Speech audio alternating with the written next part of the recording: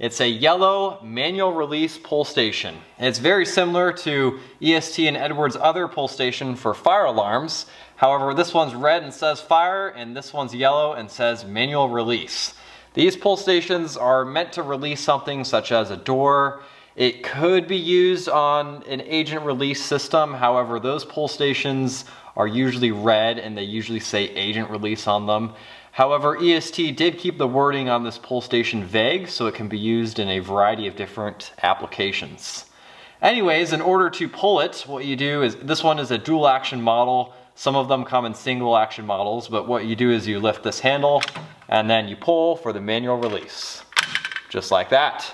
And the pull station is installed. It's usually pretty easy to install pull stations. Other devices on a fire alarm system can be a little bit more complicated but overall it's not too bad. I would test it out, however, there is nothing else installed on the system to test it out with. I haven't put in the notification appliances yet, so you might just have to stay tuned for the next voice evacuation system test to see it all being tested out in action.